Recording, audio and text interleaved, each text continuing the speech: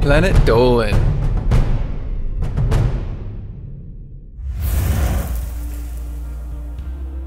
What lake could kill thousands of people at any moment?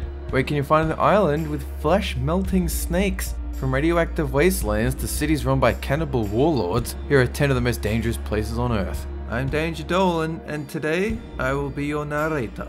Number 10. A few things to remember if you decide to visit the city of Port Moresby, Papua New Guinea. First off, don't go out after sunset. Secondly, don't go out before sunset. Seriously, that's advice you'll get from the authorities in Port Moresby, where the wealthy surround their homes with razor wire and armed security guards. The murder rate is 23 times higher than in London, and robberies, rapes, and other violent crimes are equally high. Police turn a blind eye to much of the city's crime because they fear gang retaliation.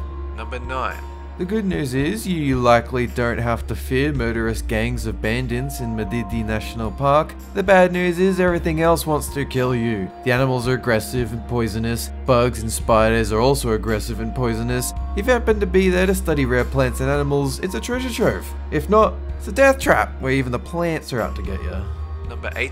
Kyrgyzstan is home to one of the Soviet Union's largest uranium mining operations, which means it's also home to one of the world's largest radioactive dumps. Now that would be fine, except then they built a town on top of the nuclear waste. Mailuu-Suu is one of the most populated places on Earth, and rates of cancer and leukemia are exceptionally high even among children. Number 7.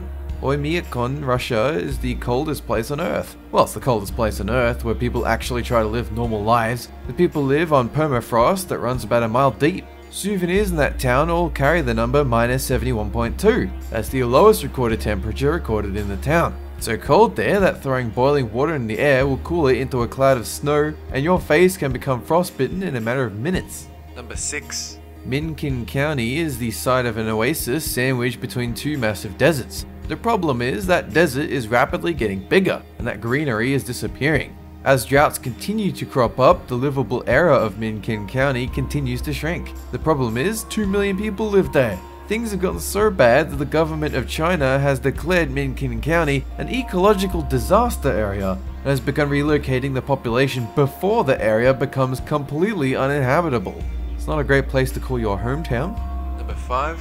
Of all the dangerous places in Africa, you wouldn't think an unassuming lake would be one of the most dangerous things you can find, but in 1986, more than 1700 people were suffocated to death by a carbon dioxide gas explosion at Lake Nyos in Cameroon. Now, Lake Kivu, sitting on the border of Rwanda and the Democratic Republic of Congo, threatens to do the same thing, only it has a reservoir of methane to make it even more explosive.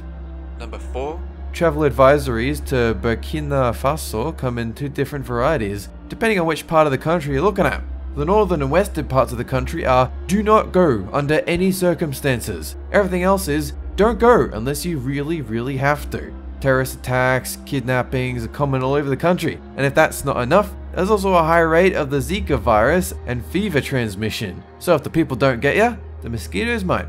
Number 3. The homicide rate in Brazil has pretty much held steady since 2000, which is kind of weird. See, the homicide rate worldwide has dropped sharply in the last two decades, and larger cities like Sao Paulo and Rio de Janeiro are safer than ever. Problem is, the murder rate in places like Alagoas has risen so much that the nationwide homicide rate is basically stable. It sees that 2,000 murders a year with a population of just under 3 million people. For reference, New York City is home to over 8.5 million people, but saw only 334 homicides in 2016, one sixth the murders with triple the population.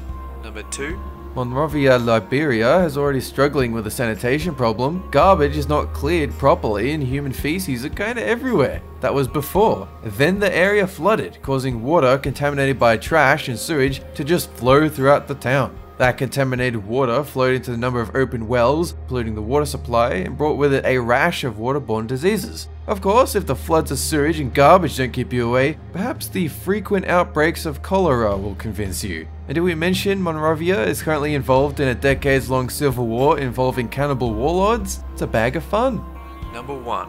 Snake Island is home to about 4,000 snakes, despite the island only being about 110 acres. That's about one snake for every 6 square yards, or 5 square meters. Snakes have thrived on the island because there are no ground level predators, but there's also no ground level prey, which means that the snakes have evolved to be extra deadly, so they can catch migratory birds. That's why the island has snakes with venom that can literally melt flesh. The golden lancehead's venom is about 3 to 5 times stronger than that of any mainland snake. That's why lancehead snakes are responsible for 90% of snakebite deaths in Brazil. This video was made possible by our fans over on Patreon. Thanks for your support, guys. That is it for this countdown. Have a good one!